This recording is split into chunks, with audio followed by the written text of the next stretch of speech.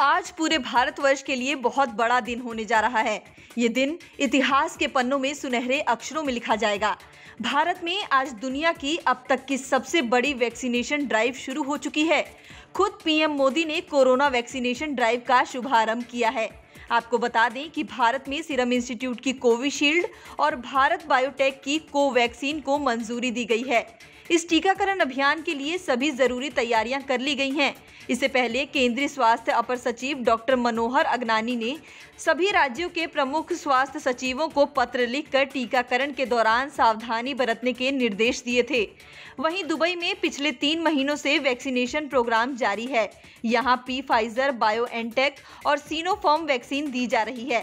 सीनोफार्म चीनी की pharmaceutical company की वैक्सीन है और दुबई में इन वैक्सीन की फ्री डोजेस दी जा रही हैं। आपको बता दें कि यूएई में अब तक कोरोना महामारी से दो लाख छियालीस हज़ार तीन सौ सड़सठ से ज़्यादा लोगों को कोरोना वायरस हो चुका है, जबकि इस वायरस से 733 लोगों की मौत हो चुकी है। बता दें कि भारत में पहले चरण में हेल्थ वर्कर्स फ्रंटलाइन वर्कर्स और डिलीवरी मैन को वैक्सीन लगेंगी। देश भर के सेंटर्स में केवल चार दिन वैक्सीन लगेंगी और एक दिन में एक सेंटर में केवल सौ लोगों को ये वैक्सीन लगाई जाएगी। पहली और दूसरी डोज में एक महीने का अंतर होना चाहिए। दूसरी डोज कब लगनी है, इसकी जानकारी आपको आपके मोबाइल फ़ोन के मैसेज पर आ जाएगी। किन्हें वैक्सीन लगेगी?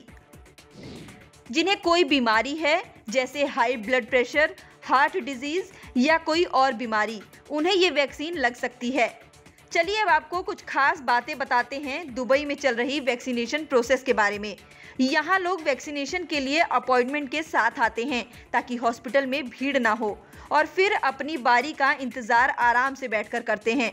वैक्सीन लगने के बाद उन्हें 30 मिनट तक ऑब्जर्वेशन में रखा जाता है। किसको वैक्सीन नहीं लगेगी? भारत में 18 साल से कम उम्र के लोगों, गर्भवती महिलाओं और स्तनपान कराने वाली महिलाओं को वैक्सीन नहीं दी जाएगी। जिन्हें कोई भी एलर्जी है या वो लोग जो कोरोना पॉजिटिव होने के बाद प्लाज्मा थेरेपी से ठीक हो चुके हैं। दुबई का वैक्सीनेशन प्रोसेस क्या है?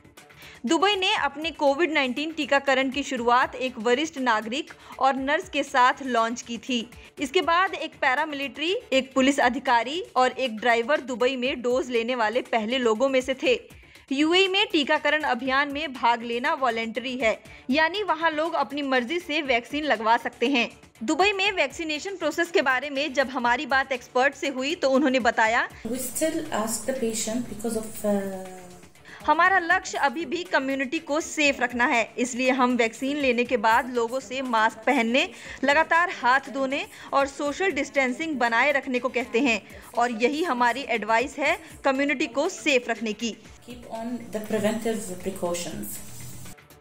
दुबई के वैक्सीनेशन प्रोग्राम में कहा गया है कि रोल आउट के पहले चरण में 60 साल से ज़्यादा उम्र के नागरिकों पुरानी बीमारी वाले लोगों के साथ साथ फ्रंट लाइन वर्कर्स को टारगेट किया जाएगा। दूसरे चरण में पब्लिक और प्राइवेट सेक्टर में फ्रंटलाइन वर्कर शामिल होंगे। तीसरा इम्पोर्टेंट फ़ील्ड वर्कर होंगे और आखिर में आम जनता होगी।